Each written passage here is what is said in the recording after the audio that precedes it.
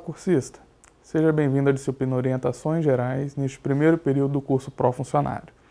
Meu nome é Patrick Moretti, sou graduado em Sistemas de Informação e especialista em Gerenciamento de Projetos. Atuo desde 2009 como analista de tecnologia da informação no IFES Campus Vitória, na área de infraestrutura de redes.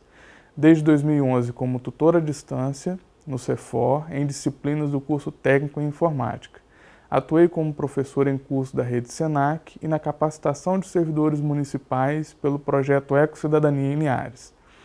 Nessa disciplina, você conhecerá o programa Pró-Funcionário.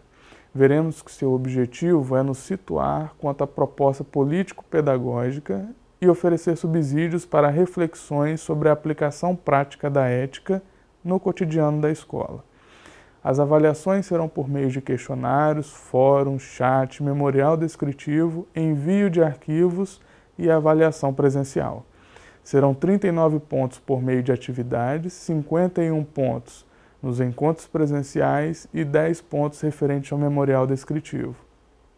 Esta disciplina tem como referencial bibliográfico as apostilas disponibilizadas pela rede ETEC Brasil. Para o sucesso no curso, é muito importante que cada etapa seja feita no prazo certo.